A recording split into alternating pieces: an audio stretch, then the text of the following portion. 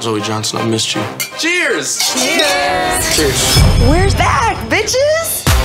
When I started, I was basically a legacy at Zoe University. But with the coming of second semester, What's the worst that could happen? Out for the storm just to weather it. Late night stud. I just got the worst music I can get. Just looks like I'm on razor burn. Why are you even coming to us? What are bros for? Literally anything else but this. Not that. Your card was declined. I was wondering if you could loan me some cash. How did you go from uh, having an apartment and owning your own air fryer to asking me for money?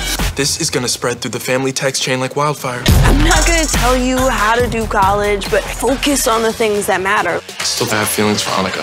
Look at you two, my BF and my BFF. I like it. Get close to him and then stab him in the back. I've kind of always lived in their shadow. I can see that. She's talented, successful. Um, you're some of those things too. I know you're the cool older sister who needs to look out for me, but you don't need to do that anymore. yo, Junior!